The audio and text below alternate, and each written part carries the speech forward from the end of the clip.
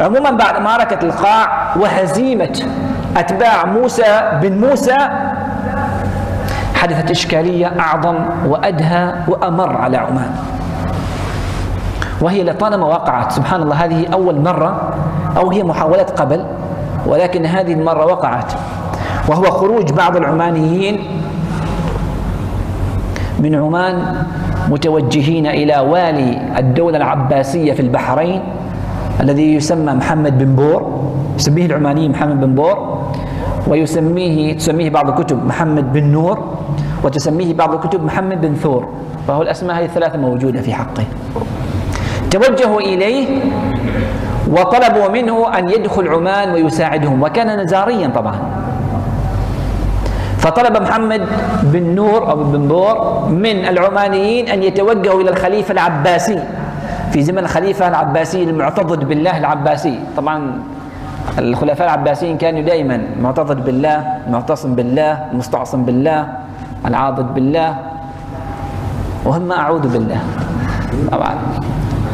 يعني فقط هي مسميات. كما يقول ألقاب مملكة في غير موضعها كالهر يحكي اتفاقا صولة الأسد.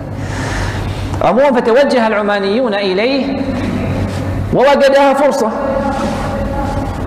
أن يسيطر على عمان.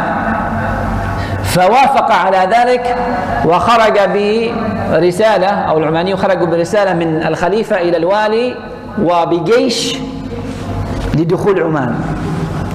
فجيش الجيوش محمد بن بور ودخل عمان ومعه العمانيون.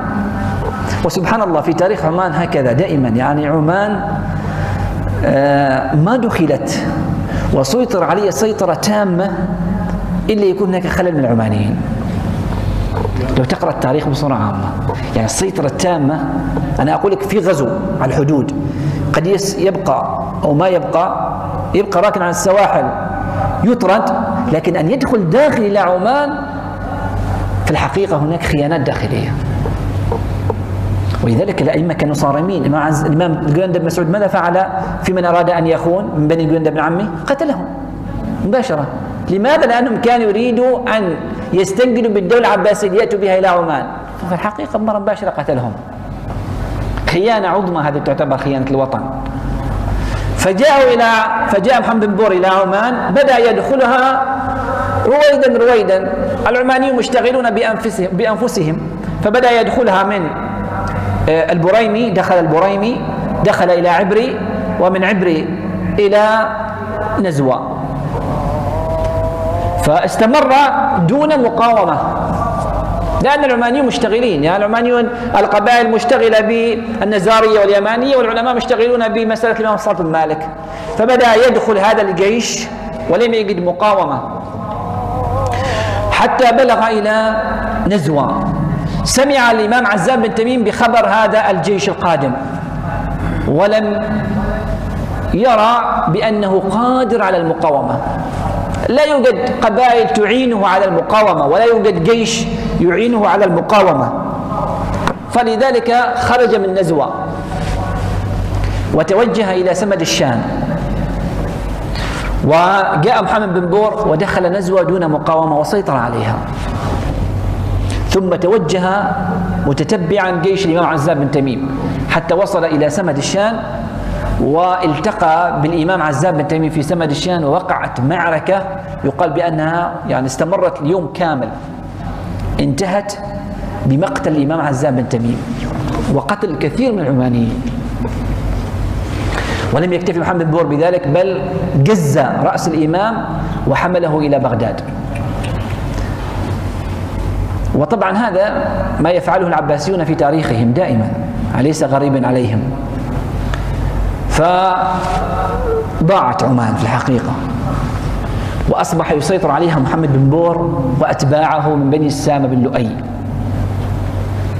واستمر فترة من الزمن وحاول العمانيون أن يخرجوا من هذه الأزمة بقيادة الأهف بن حمحام الهنائي.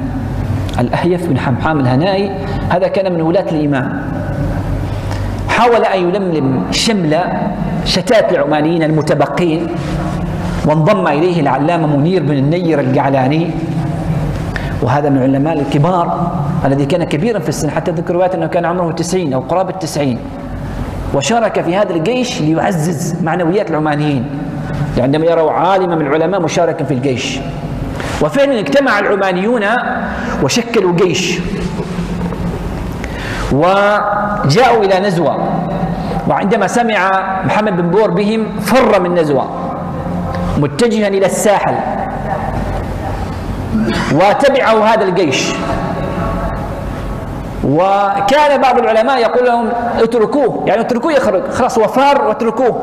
لكن بعض الشباب المتحمسين والذين في الحقيقة تأثروا من ما فعله محمد بن بور. محمد بن بور عندما دخل نزوة قتل الكثير من النساء والرجال. واستباح حتى الأعراض.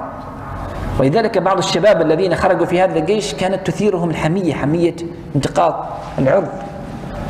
فقالوا إلا أن نتبعه وشاءت حكمة الله سبحانه وتعالى. التقوا بجيش محمد بن بور في أد... في السيب هنا في دما تسمى قديما. ووقعت معركة كبيرة ما بين الفريقين. انتهت بانتصار الأهيف بن حمحام في بداية المعركة.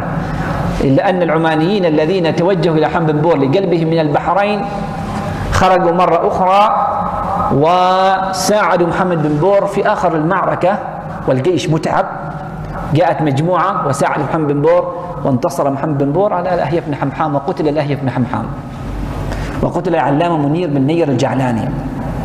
حتى من كرامات المنير بن نير الجعلاني التي تذكر في حقه أنه مات وأن في وصيته قد كتب أن يدفن في جعلان. وفعلا حملت جثته من صحار ابن أدم آسف من السيب حتى جعلان ودفنت في جعلان ويروى بأنها لم تتأثر مطلقا وكأنه مات الساعة عندما قبر. عموما بعد أن انتصر محمد بن بور على العمانيين رجع إلى نزوة رجعت. يعني من هو في نفسه حقد؟ على العمانيين. وبدأ بالهدم. أحرق مكتبة ضخمة في الرستاق. راح فيها الكثير من المصادر العمانية. وجاء إلى عين الكسفة وحاول طمرها أيضا. حتى الآن العين لو تلاحظوها هي خرجت في مكان وأيضا عندها فتحة أخرى. بعض الروايات تقول تلك الفتحة هي التي طمرها وحاول طمرها محمد بن بور.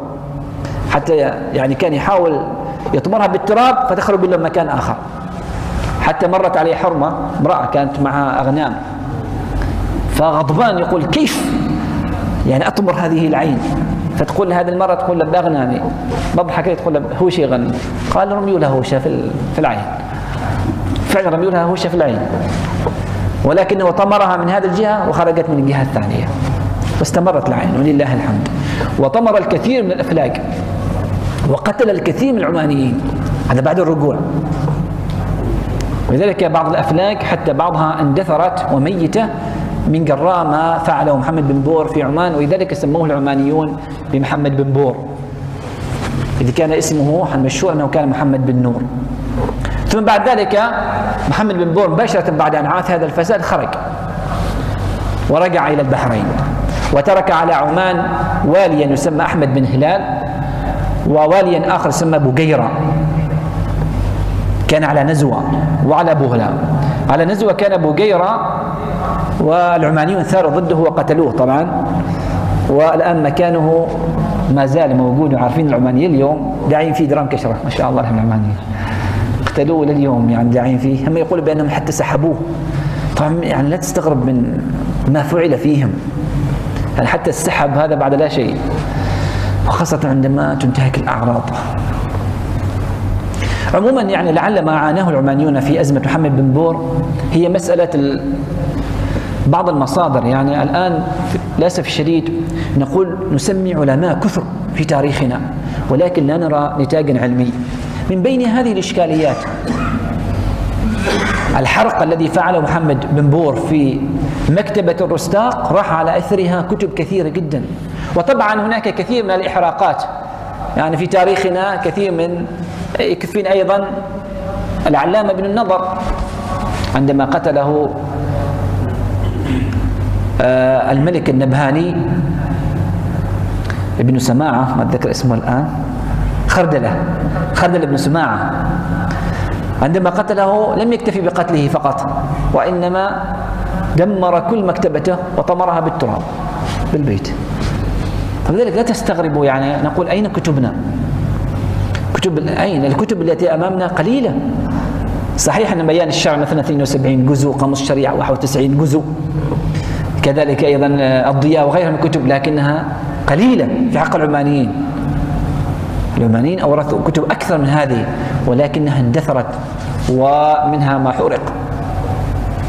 عموما تمك في فترة محمد بن بور طبعا استمر ولاته يحكمون عمان إلى بعد ذلك تحولت إدارة عمان بيد بني سامة بن لؤي الذين جلبوا محمد بن بور إلى عمان أصبحوا هم يحكمون عمان.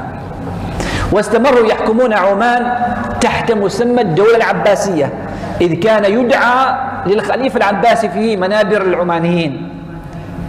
في صلاة الجمعة.